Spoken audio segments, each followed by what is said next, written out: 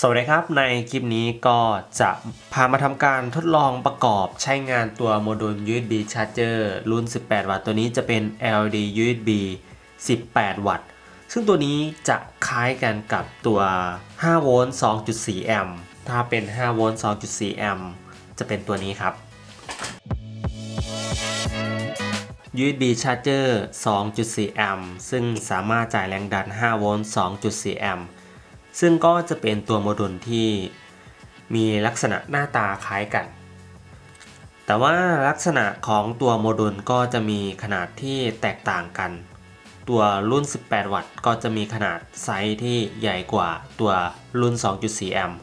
ตัวนี้น่าจะจ่ายได้สูงสุดที่ 12 วัตต์นะครับ ตัวนี้จ่ายได้สูงสุดที่ 18 วัตต์ และตัวรุ่น 18 วัตต์ตัวนี้เขาสามารถใช้ พอร์ต USB Type C เป็นทั้ง Input และ Output ในพอร์ตเดียวกัน ซึ่งตัว 2.4 แอมป์ตัวนี้ไม่สามารถทำได้นะครับ สามารถชาร์จได้อย่างเดียวสำหรับพอร์ต USB C ในการติดตั้งก็จะใช้การติดตั้งแบตเตอรี่ในลักษณะนี้ครับ เพราะว่าขนาดโมดูลจะมีขนาดที่ไซส์เท่าๆกันกับตัวโมดูล USB รุ่น 22.5 วัตต์ตัวนี้ ซึ่งก่อนหน้านี้ผมได้ทำการประกอบ ทดลองใช้งานตัวโมดูลไปหลายตัวแล้วนะครับ ก็จะมีเป็นรุ่น5โวลต์2.4แอมป์และก็รุ่น 22.5 วัตต์ แล้วก็รุ่น 18 วัตต์นะครับ แต่ถ้าใครต้องการที่ซื้อไปแล้วสามารถติดตั้งใช้งานได้เลยเนี่ย ซื้อรุ่นนี้ไปก็ดีเช่นกัน ตัวนี้ก็จะเป็น power bank DY เช่นกัน เขาก็จะมีมาเฉพาะตัวกล่องแล้วก็ตัวโมดูลภายในแบบนี้ กล่องนี้จะสามารถติดตั้งแบตเตอรี่ได้ทั้งหมด 16 ก้อน หรือ 16P เวลาที่ซื้อมาก็จะเป็นแบบนี้เลยครับ ก็ถอดมาแล้วก็นำแบตเตอรี่ 18650 มาทำการติดตั้งเข้าไป ตัวนี้ผมได้ทำการรีวิวแล้วก็ลงคลิปวิดีโอไปก่อนหน้านี้แล้วนะครับ ถ้าใครสนใจเนี่ยก็สามารถย้อนกลับไปดูได้ ตัวนี้ใช้งานได้ดีเนี่ยแล้วก็สามารถจ่ายกำลังวัตต์ได้ค่อนข้างสูง แนะนำนะครับถ้าใครที่ต้องการซื้อไปแล้วนำแบตเตอรี่ 18650 มาทำการติดตั้งใช้งานได้เลย ก็แนะนำว่า ใช้เป็นกล่อง DY พอแบงค์แบบนี้ก็ได้เช่นกัน ตอนนี้อุปกรณ์ที่จะนำมาประกอบก็ครบครับ ก็จะมีตัวโมดูล LED USB Charger รุ่น 18 วัตต์ แล้วก็แบตเตอรี่ลิเธียม 18650 ทั้งหมด 8 ก้อน กล่องอะคริลิกไซส์หนา 2 มิลสำหรับติดตั้งแบตเตอรี่ 18650 8 ก้อนหรือ 8P พร้อมน้ำยาประสานอะคริลิก และก็ไซริงค์หลอดน้ำยาครับ และนี่ก็จะเป็นอุปกรณ์ทั้งหมดนะครับ ซึ่งถ้าใครสนใจอุปกรณ์ที่นำมาประกอบเป็นชุด power bank ชุดนี้ ผมก็ได้ทำการแปะลิงก์ไว้ที่ คำอธิบายใต้คลิปวิดีโอก็สามารถเข้าไปดูข้อมูลเพิ่มเติมได้ครับ ต่อไปก็จะทำการแพ็คแบตเตอรี่ โดยก็จะแพ็คชุดละ4ก้อนก่อนครับ ก็จะใช้เป็นเครื่องเชื่อมจุดหรือเครื่องสปอร์ต w ว r ดิ้งตัวนี้ครับ ราคาก็ไม่แพงนะครับสำหรับตัวนี้หลักร้อย ชาร์จครั้งหนึ่งก็ใช้งานได้ค่อนข้างนาน จะทำการแพ็คแบตเตอรี่เป็นชุดละสีก้อน แล้วก็นำมาขนานกันอีกครั้งหนึ่ง ก็จะขนานเป็น 2 ชุดแบบนี้ครับ จะทำแบบนี้ แล้วก็อีกชุดหนึ่งก็จะต่อท้ายลงมา เพราะว่ากล่องตัวนี้จะเป็นกล่องที่ติดตั้งแบตเตอรี่ 8 ก้อน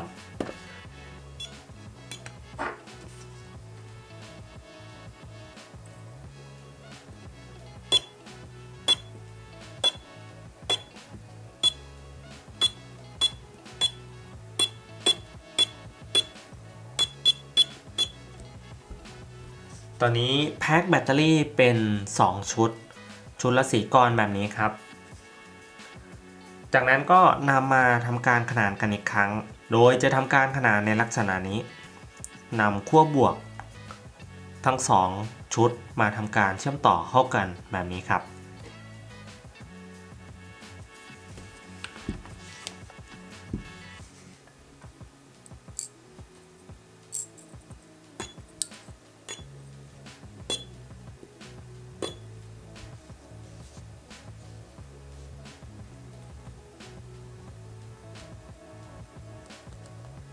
อนนี้ได้ทำการขนานขั้วบวกเสร็จเรียบร้อยครับ ต่อไปก็จะเป็นการขนานขั้วลบ ก็ทำการเชื่อมต่อขั้วลบจากด้านนี้มาเข้าด้านนี้ก็จะเป็นการ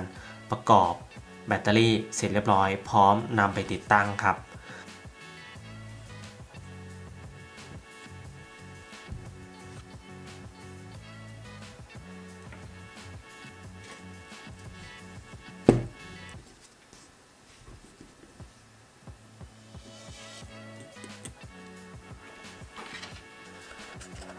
จากนั้นก็นำกล่องอะคริลิกมาทำการติดตั้งครับ ตัวนี้ก็ทำการลอกสติกเกอร์ของแผ่นอะคริลิกออกก่อนนะครับ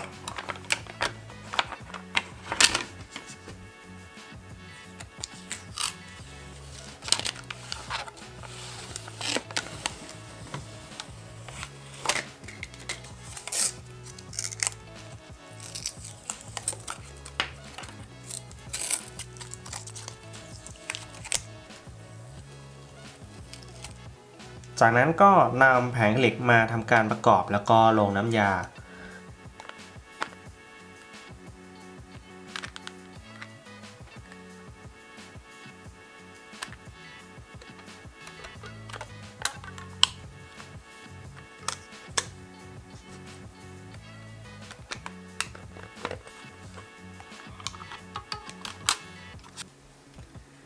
จากนั้นก็ใช้น้ำยาประสานอะคริลิกในการ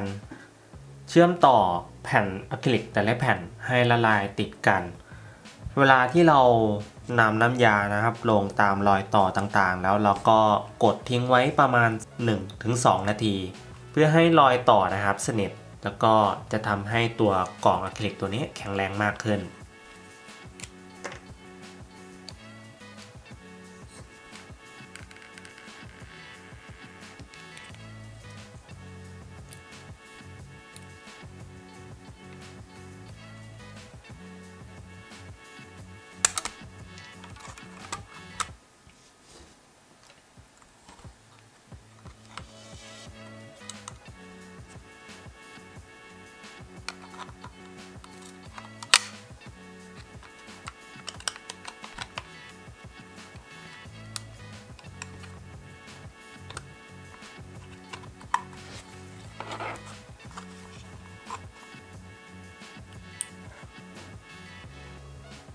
ตอนนี้ก็ได้ทำการขนานแบตเตอรี่เสร็จเรียบร้อย แล้วก็เชื่อมต่อสายไฟเพื่อจะทำการติดตั้งเข้ากับตัวโมดูล USB Charger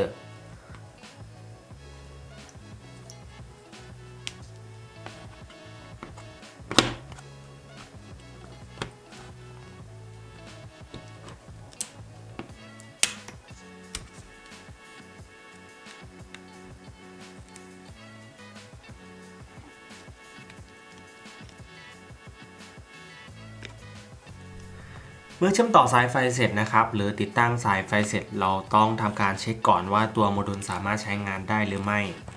ก่อนที่เราจะทำการปิดฝาด้านบน ตอนนี้เปอร์เซ็นต์ของแบตเตอรี่อยู่ที่ 43%ครับทำการกดปุ่มเช็คดูนะฮะว่ามีเปอร์เซ็นต์แบตเตอรี่โชว์ขึ้นหรือไม่ ถ้า ไม่โชว์ขึ้นต้องเช็คดูว่าเกิดจากอะไรนะครับ อาจจะมีปัญหา แต่ถ้ากดแล้วมีเปอร์เซ็นต์ระบุขึ้นมาแบบนี้ก็แสดงว่า ตัวโมดูลสามารถใช้งานได้ปกติครับ จากนั้นก็นำฝาด้านบน มาทำการปิดและทำการลงน้ำยาประสานอะคริลิก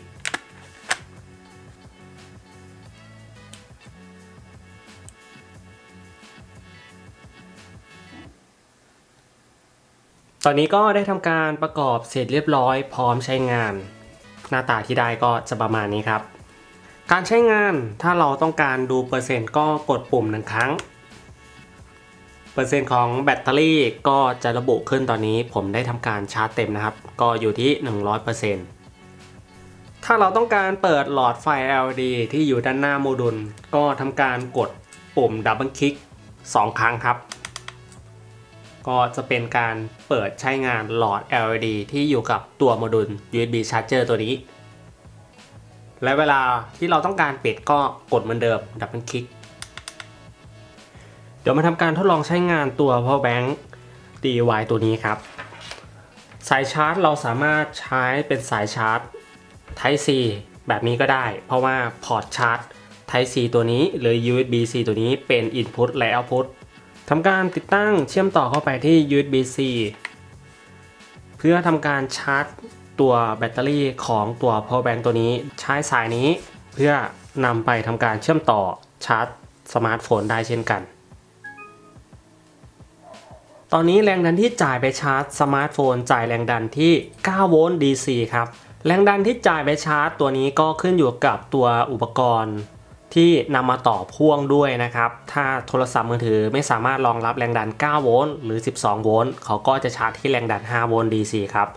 แต่ถ้าสมาร์ทโฟนนะครับหรืออุปกรณ์นั้นรองรับ เขาก็จะปรับแรงดันอัตโนมัติ ตามที่ตัวอุปกรณ์นั้นรองรับนะครับ ตอนนี้โทรศัพท์ หรือสมาร์ทโฟนรองรับการชาร์จที่ 9 โวลต์ครับ อุปกรณ์เครื่องไหนนะฮะรองรับที่ 12 โวลต์ เขาก็จะปรับแรงดันไปที่ 12 โวลต์ แน่นอนว่าบอร์ดตัวนี้สามารถชาร์จสูงสุดที่ 18 วัตต์นะครับ เพราะว่าเป็นบอร์ด USB charger รุ่น 18 วัตต์ไม่ว่าจะชาร์จที่แรงดัน 5 โวลต์ 9 โวลต์ หรือ 12 โวลต์นะฮะเขาก็จะสามารถชาร์จได้สูงสุด เพียงแค่ 18 วัตต์เท่านั้นครับ ซึ่งเราสามารถต่อชาร์จพร้อมกันได้ 3 พอร์ต USB ครับ ก็จะเป็น USB C แล้วก็ USB ธรรมดาอีก 2 พอร์ตครับ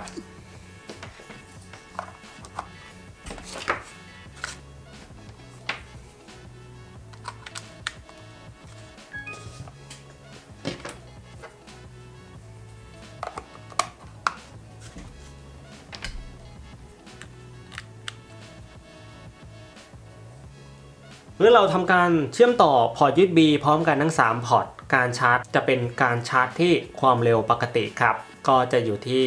5 โวลต์ DC เท่านั้น จะไม่สามารถชาร์จที่แรงดัน 9 โวลต์ หรือ 12 โวลต์ได้ เนื่องจากตัวโมดูลนะฮะสามารถจ่ายได้สูงสุดเพียงแค่ 18 วัตต์ ก็จะโดนเฉลี่ยไปแต่ละพอร์ต USB ที่ทำการเชื่อมต่อกับตัวโมดูล charger ตัวนี้ครับ เดี๋ยวมาทำการทดลองชาร์จที่แรงดัน 12 โวลต์ ซึ่งเราต้องทำการเชื่อมต่อสาย USB เพียงแค่ 1 พอร์ตเท่านั้น แน่นอนว่าแรงดันที่จ่ายออกที่ 12 โวลต์ อุปกรณ์ตัวนั้นต้องรองรับด้วยนะครับ อุปกรณ์ที่รองรับก็จะเป็นแบตเตอรี่ของโดรนตัวนี้ครับ ที่สามารถรองรับแรงดันการชาร์จที่ 12 โวลต์ได้ ตอนนี้ผมได้ทำการถอดพอร์ต USB ออกให้เหลือ 1 พอร์ต USB ตอนนี้จ่ายแรงดันไปชาร์จแบตเตอรี่โดรน คุณจะเห็นว่าตอนนี้ตัวโมดูล USB จ่ายแรงดัน output ออกที่ 12 โวลต์ครับ จากการทดลองใช้งานตัวโมดูล USB Charger รุ่น 18 วัตต์ตัวนี้นะครับ เขาก็สามารถจ่ายแรงดัน 5 โวลต์ 9 โวลต์ และ 12 โวลต์ได้ครับ และตัวโมดูลก็ยังสามารถจ่าย output ออกพร้อมกัน 3 พอร์ตได้ แต่จะชาร์จที่ความเร็วปกติ และสามารถเชื่อมต่อชาร์จได้ 3 พอร์ต USB เช่นกันก็จะเป็น USB C แล้วก็ Lightning และ Micro USB นะครับ ก็จะเป็น Input 3 Output 3 ครับ ซึ่งถ้าใครดูแล้วสนใจอุปกรณ์ที่นำมาประกอบเป็นชุด power bank ตัวนี้นะครับ ไม่ว่าจะเป็นตัวโมดูล USB charger รุ่น 18 วัตต์ตัวนี้ หรือกล่องคลิก ก็สามารถไปดูตามลิงก์ที่แปะไว้ด้านล่างคำอธิบายใต้คลิปวิดีโอได้ครับสำหรับคลิปการประกอบ power bank DIY ก็มีเพียงเท่านี้ แล้วเจอกับผมใหม่ในคลิปถัดไป สวัสดีครับ